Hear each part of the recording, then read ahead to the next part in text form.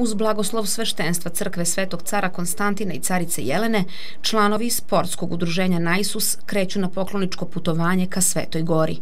Osim Hilandara, obići će i druge verske i istorijske znamenitosti. Mi odavde naravno krećemo kolima do Jerisusa, narednog dana, to je sutra dan krećemo iz Jerisusa brodom do Hilandara, a zatim narednog dana takođe brodom do pristaništa Morfi, to je nekih deseta kilometra ispred Velike Lavre, a to nam je cilj tog drugog dana.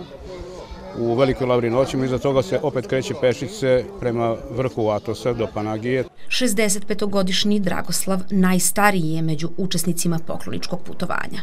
U Hilandaru ćemo da prenoćimo, tu imamo obezbeđeno prenoćište, ručak, doručak, svetu liturgiju.